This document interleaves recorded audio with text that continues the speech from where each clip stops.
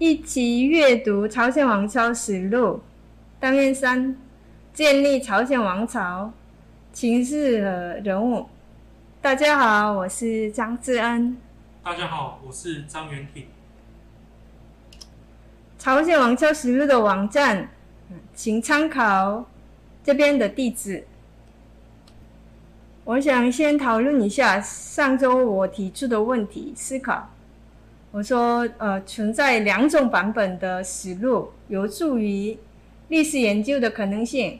比如说，宣祖实录跟宣祖修正实录两个版本存在。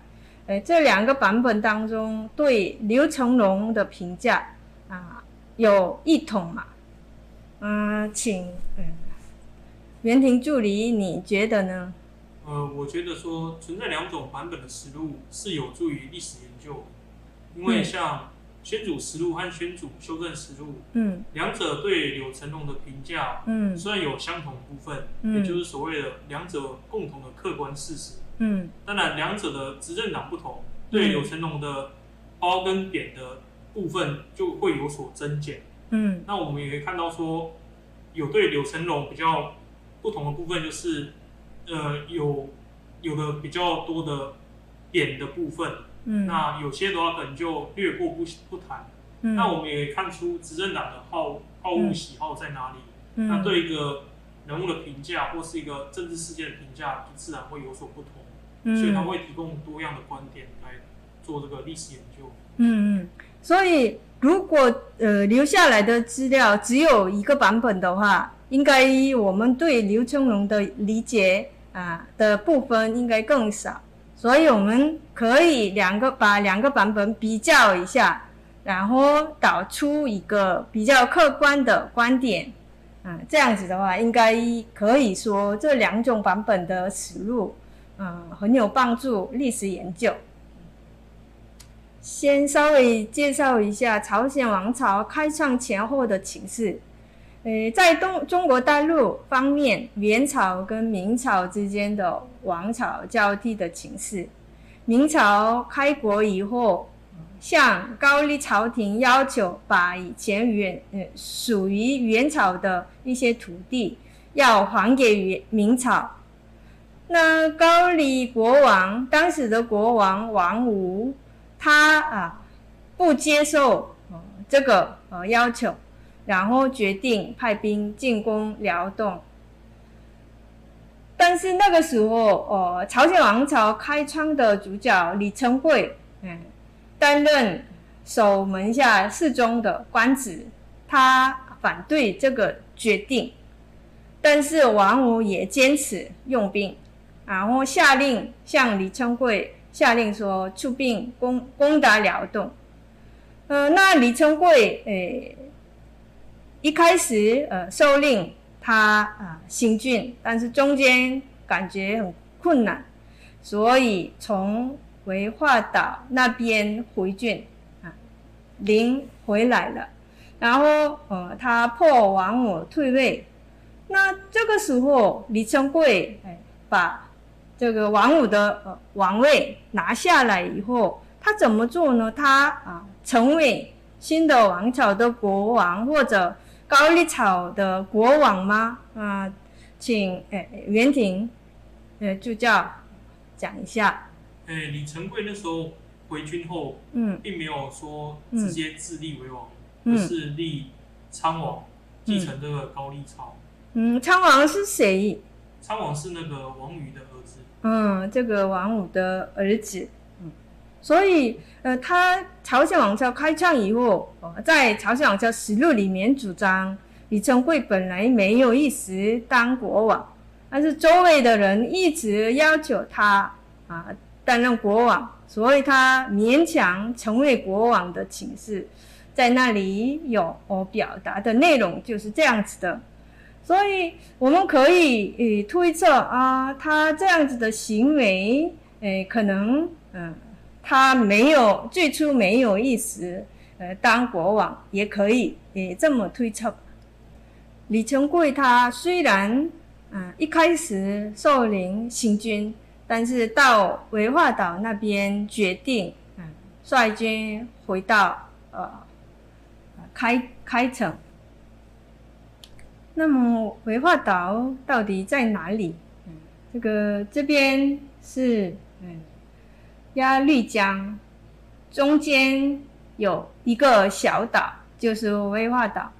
李成桂的军队军队在这里想要渡江，但是嗯，按照当时的记录来讲的话，这边下大雨，所以无法渡江。啊，在这里待几天以后，决定啊。行军取笑，然后回去，这样子。嗯，当时他呃一开始受令的时候，也主张嗯现在无法行军啊。他主张的内容可以参考哪一个书籍？呃，可以参考高力史的《新吴列传》。嗯，高力史是高丽草时代。编辑的还是什么时候编辑的？诶，应该是朝鲜王朝的时候编辑的。对，高丽朝还进行的时候，没办法编辑当时的历史嘛。那，他主张的四个不可的、不可行军的理由是大概什么样的？呃，像第一点就是以小立大，嗯，就是那个所谓的高丽跟明朝来讲，一个是小国，一个大国，嗯，那以小国立大国是不可以的。嗯嗯嗯。那下月发兵是第二个不行。嗯，那因为下月发兵会有很多瘟疫或什么的一些疾病的问题。嗯嗯。那第三点是举国远征的话，就是像倭的话，就是日本可以趁这时候来进攻，或者说这个时候举国远征没有百姓来耕作之类的。嗯，对。如果全部全国的军队都集在这里的话，那南部那边的呃应该也比较危险，因为那个倭军。呃，趁这个机会进贡的话，啊，就是这个国家安危有我发生问题嘛。然后呢？那第四点就是十方，就是十属于就是下大雨的时候，嗯，像那个弓箭跟那个弩箭那些就很容易武器就是坏掉。嗯，那这个在韩剧的《六龙开天》里面有拍摄非常好的那个影集来。描述这个一个情况，虽然它不是完全是史实，嗯，但它的拍摄应该就是有那个下大雨，嗯，那时候行军很困难的情况这样子。对，所以，呃，不晓得当时啊下那么大的雨，呃，是真的还是假的？但是我们啊参考那个历史记录的时候，发现，呃，真的发生啊有这种啊气象的啊现象。嗯，所以李成贵这样啊，呃，总共四个理由来主张现在不可呃行军，所以他从这里呃回来的。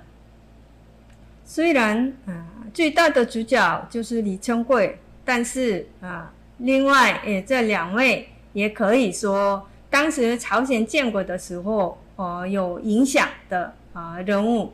呃，李成桂之外，诶，另外一个曾道传，李成桂是来自诶武人的武士，这个曾道传是文人，所以朝鲜王朝建立的时候，这两个文武合作的啊形式来建立新的呃王朝的。但是我在这里再加一位曾孟周，他的呃。他一三九二年死亡的人，怎么会呃跟朝鲜朝建国有关系啊？因为他极力反对呃他们两个啊建立新的王朝的这种啊行动。不过他们之前啊一起诶主动进行高丽朝末期的呃改革运动的人。啊，最后开创新的国家还是持续呃努力诶改革这个高丽草，这个意见上啊，这两位跟这一位的意见啊不同的。那么朝鲜王朝建立以后，成为第一代国王的李太祖，就是太祖李成桂，他呃在高丽草末期有什么样的呃这个代表性的人物？李成桂他担任武将的时候，曾经击退这个北元，还有女真以及倭寇的侵犯。所以他是有实际战绩的这种武将。嗯，对，所以李春贵担任武方面，然后刚刚介绍的曾道传之类的文人儒者，他们啊代表这个武文方面，这样合作下完成朝鲜王朝的建立。嗯，当时曾道传等一些儒者成为官僚，但是朝廷里面因为有五方面的贡献而来的。诶，那个武将出身的啊，官僚也不少的，所以呃，当时他们嗯有呃建立这个两班的呃组织，两班，我们现在也呃常常听过朝鲜的两班嗯社会这样子，两班就是文办跟武办的呃合作，就成为两班。所以这个两半制度成为支撑朝鲜王朝五百年的国家体制，嗯，是他们呃建立一个王朝，然后支撑五百年。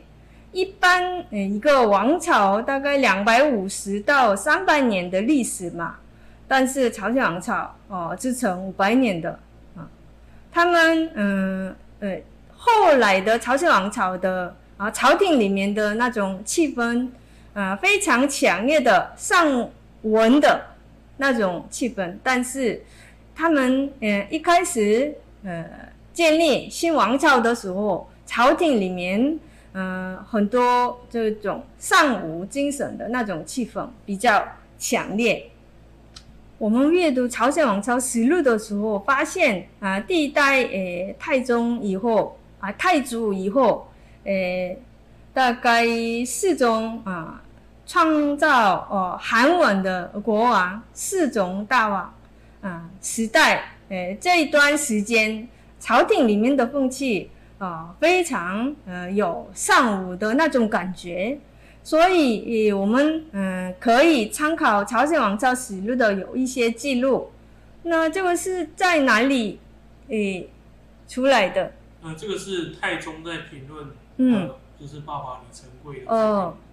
啊，所以这个太上王就是李成桂。嗯，李成桂，那这个是太宗嘛？他对啊自己的父亲的呃内容，嗯，在这里讲的，嗯，他怎么讲呢？唯我太上王以神武之德，应运开国，以建无疆之业。嗯，他对呃父亲的啊这个啊建立的贡献呃有这种的评价，嗯。他啊，神武哦，五方面非常有能力的。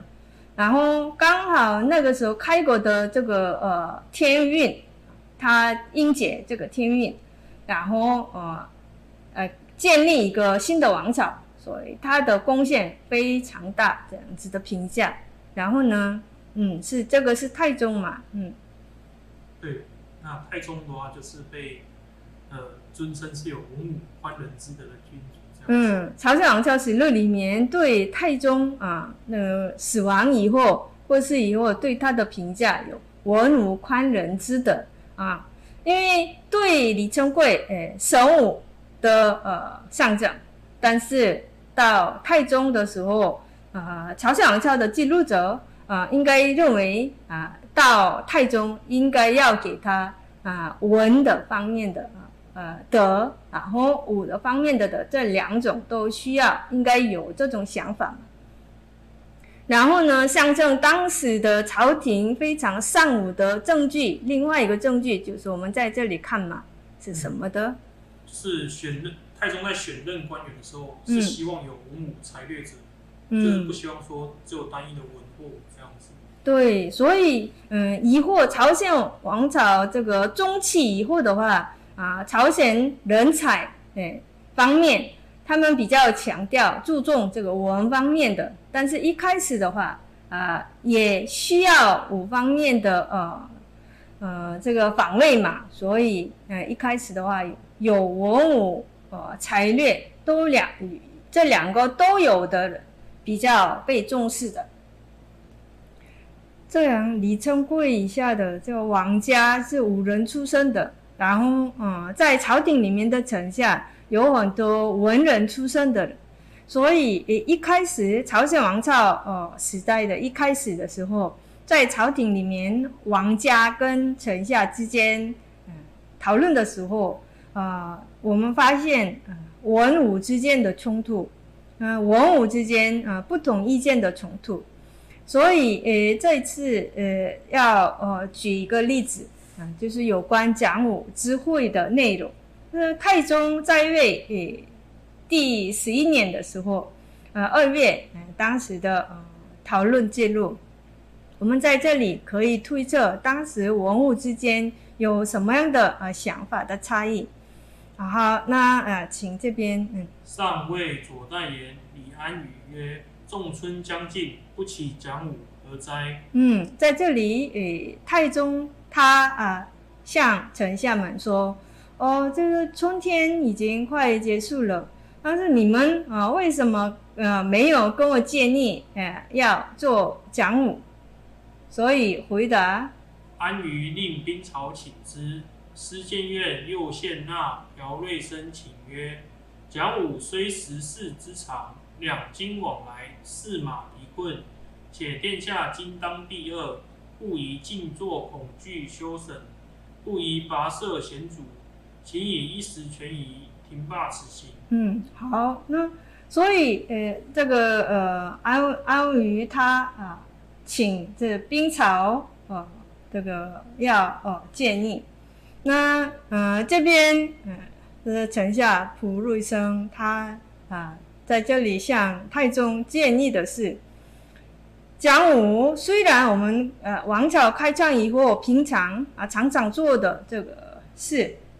呃，它的形式大概两径，两径是呃两个呃镀金嘛，是哪一个呃两个这个度是？呃，开城到那个平壤。嗯，所以他们讲武之会，呃，不是在呃演讲厅里面做的，这是两径啊来往的那种方式，然后呃士卒跟马一起做的啊，很疲倦，然后。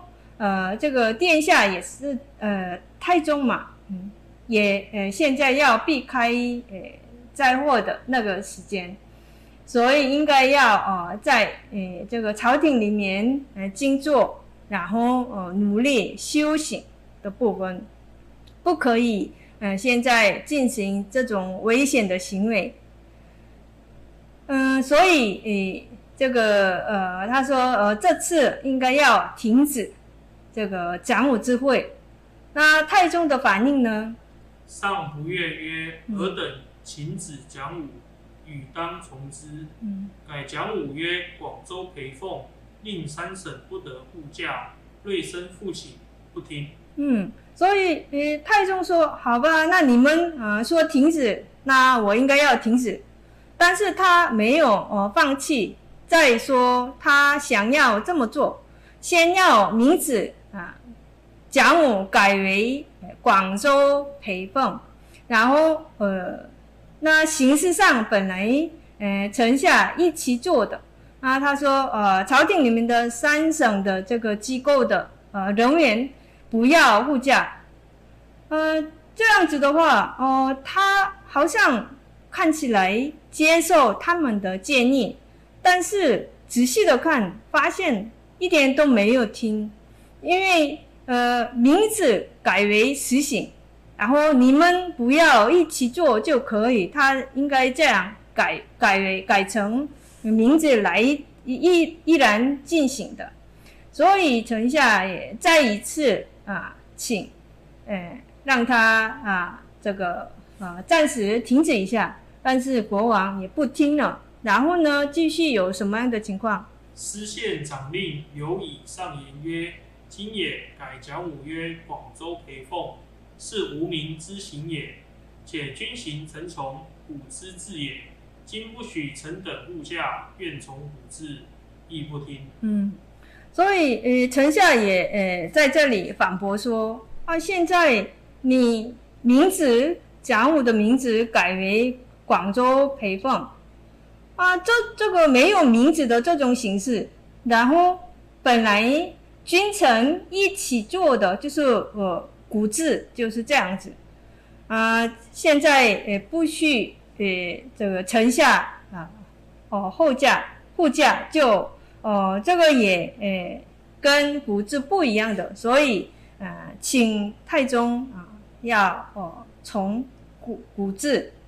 但是他也不听这句话，所以，嗯，那这样子的话，臣下放弃吗？也不放弃，再一次，呃，在这里建议，嗯，内生父请曰：“臣等之请，非为图改讲武二字而已，乃欲停止此行也。今以广州陪奉为辞，是无名也，在于不得已，则莫若称讲武之为欲也。”嗯，所以他说，哎。那这样子的话，干脆呃想把你想要想要做的就做就可以的。他说啊，我们建议的呃目的这这个焦点不在于呃改名字，然后呃他们想要做的是啊停止这次的这个行程，但是现在呃把他的名字广州哦培凤。呃，用这个名字来做的话，就没有这种名字的形式，所以那在这里呃用那个名字做比较好。所以呃你不得已的话，那呃呃用原来的讲武这个名字来做比较好。嗯，那他怎么回答呢？上曰：尔等请停讲武，故从渐改之。讲武礼行也，不可不备。广州则四皆简约，何必改之？且于非妇人，安可静坐一目中也？嗯，所以他也回答说，他解释自己的呃刚刚讲的内容。所以，哎，你们说这个要停止讲我，所以我想从嗯你们的这个建言来改的。所以，但是讲我本来是离行也，这是一定要做的。呃，广州。在这里，以广州陪凤，呃，这样子的话，这个应该比较呃简略的形式来做啊。为什么呃又要改？而且我不是富人，怎么会安安静静在荧幕中？他这样子的反驳的。哦，我们呃阅读以后，呃阅读刚刚的那个朝鲜王朝实录的呃内容以后，知道啊，应该讲我。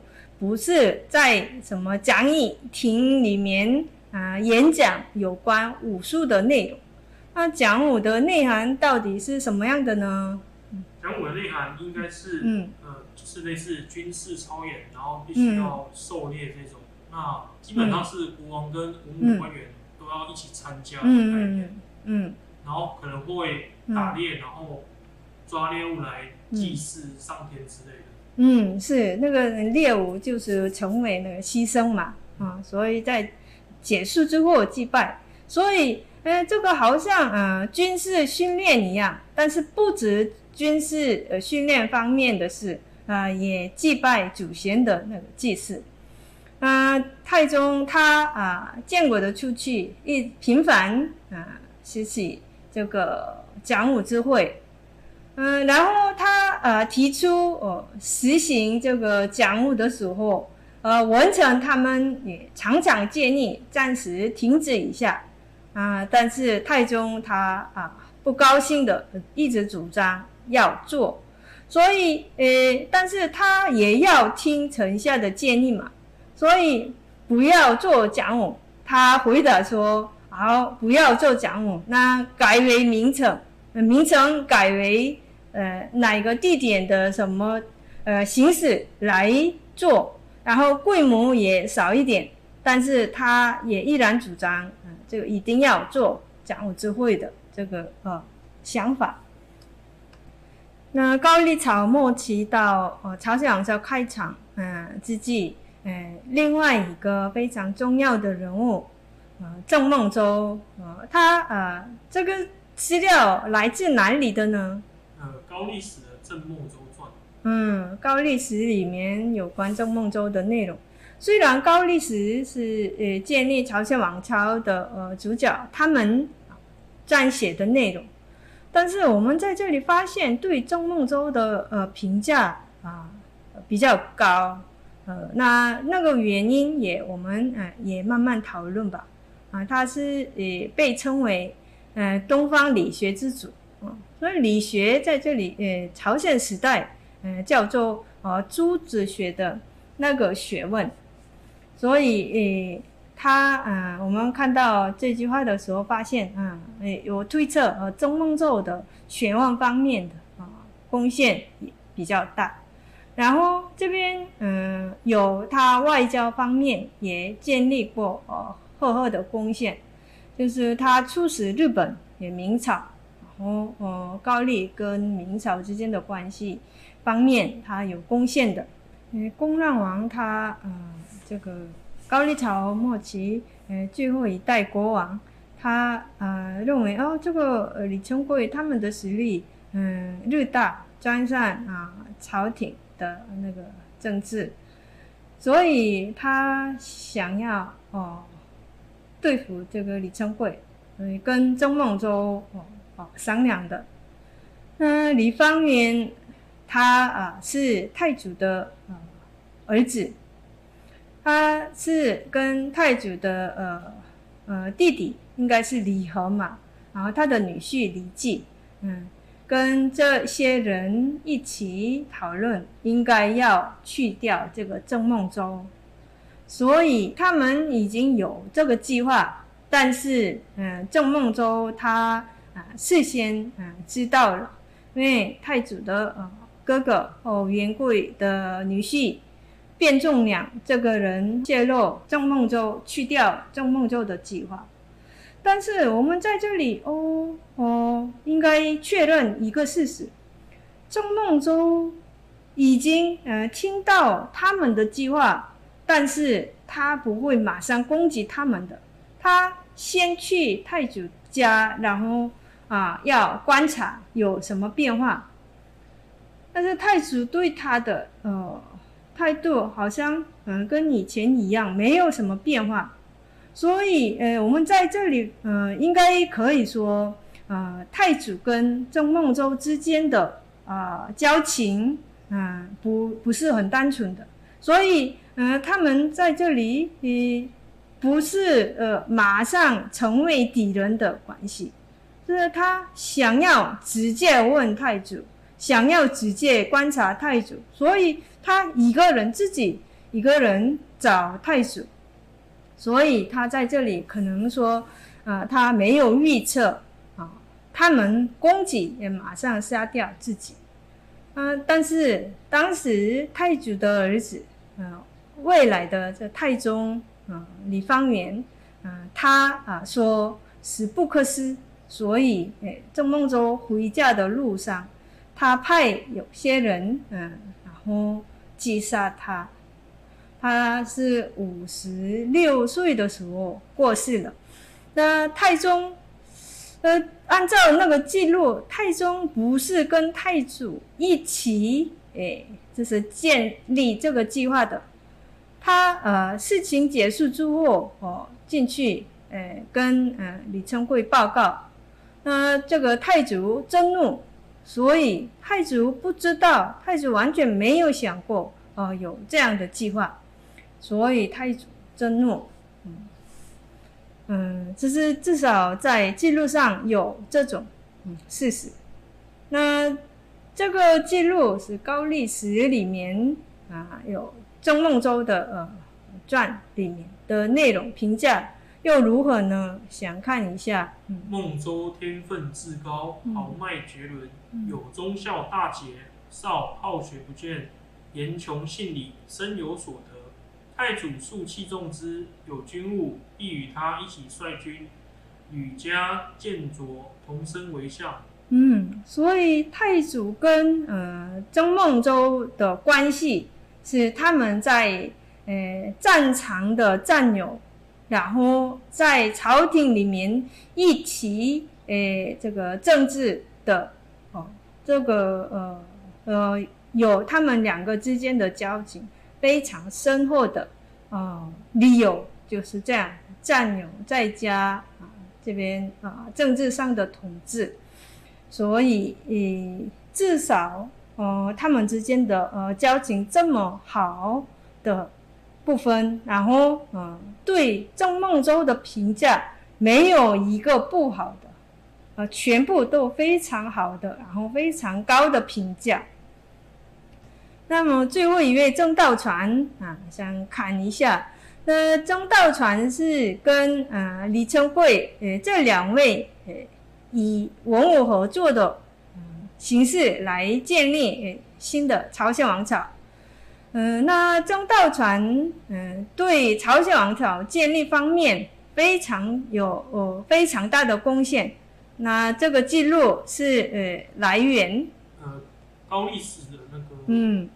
正道传传没有写哦，高丽史也是呃建立朝鲜王朝啊的呃主角，他们撰写的内容，我们刚刚发现，呃郑孟周哦对朝鲜王朝建立没有任何贡献的郑孟周的评价非常高，那么他们对呃呃朝鲜王朝哦建立方面非常啊贡献非常呃大的这个郑道传的呃。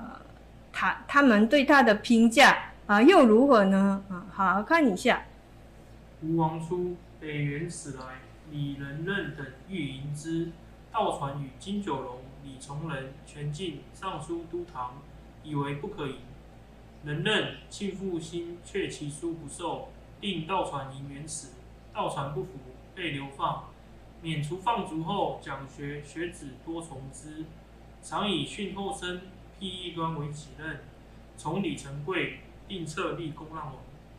好，那这边啊，张道传大概在哪一个呃哪边的人？嗯，元朝跟明朝哦这个交替之际的时候，李仁任他们是呃以前旧势力，他们想要跟呃北元一直这个维持关系，但是新的势力诶。以曾道传为为呃使的这一位，他们啊不可以迎接呃元朝的那个使臣，所以嗯，但是呃当时的他们的势力是呃这个新的势力，所以旧势力呃不接受他们的这个想法，所以让曾道传迎接嗯嗯元朝的呃使臣。而他啊不服，所以被流放。那从流放回来以后，他先啊就是专念嗯讲学，所以他的学生非常多。那他这里努力的是呃那个要哦哦排斥异端，应该有关佛教方面的。然后他跟李成桂诶一起诶。这个呃合作啊，当时高丽朝末期的改革的人，然后呃他们两个一起合作，把啊这个订立这个国呃高丽朝末期国王公让王的。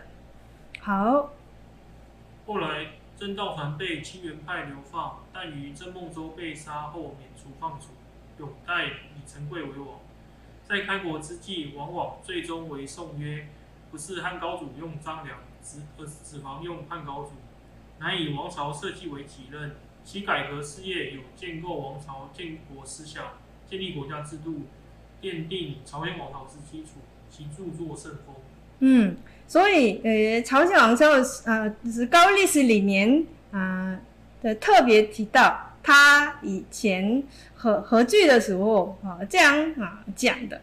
啊，汉高祖虽然是这个呃中国的这个天子，啊，他的臣下张良，他们两个人的关系，他啊曾道传解释为，不是汉高祖聘用张良的，只是张良他为了啊把他的呃计划实现，嗯，使用汉高祖的，他这样讲，所以这个解释的话。啊，这是我的解释。他要呃把王朝设计为己任的人，所以呃高历史里面啊，呃特别提到这个是，他本来有这种嗯叛逆的啊想法，所以呃这曾道长因为后来呃在呃这个太宗嗯的呃手下，他啊被杀的。所以，呃，我们他为什么被杀的原因啊，从这里可以找到。那其后呢，啊，他的最后是怎样的？其后因永历太祖之神德皇后康氏所生子方硕为世子，而于一三九八年与方硕同遭太宗李方远所杀。嗯，所以他的罪过，哦，那建立这个朝鲜王朝以后不久，啊，因为他有这个对朝廷的呃建立世子的问题干涉，所以被呃李方远杀的。张道传他虽然在朝鲜王朝建立的初期，诶被杀的，但是我们啊观察他的著作的时候，发现是什么样的呢？啊，那先看看他的著作有什么样的。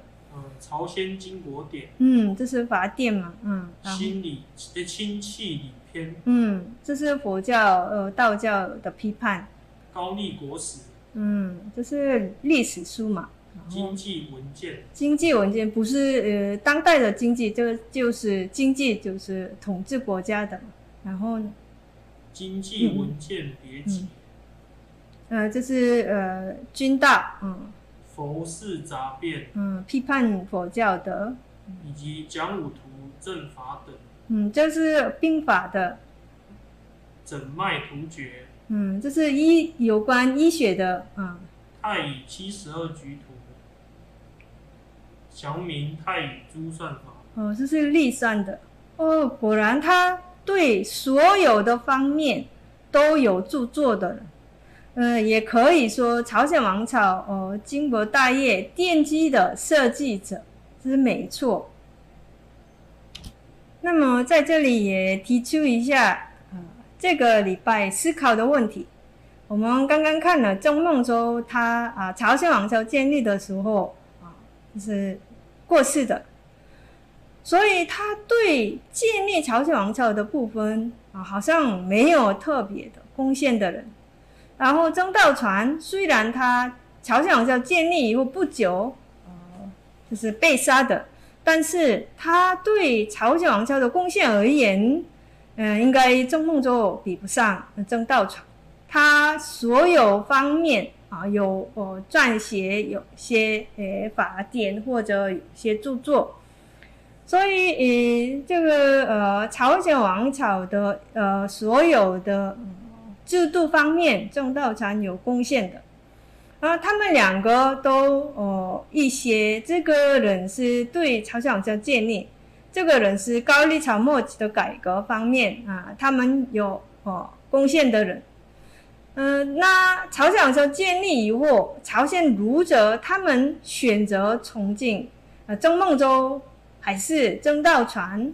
啊，有些同学呃，有些人应该也知道答案嘛。那我们嗯下礼拜诶，这个不止答案，呃，而且我们也讨论他们为什么选择其中一个人的原因理由。好，谢谢大家。好，谢谢大家。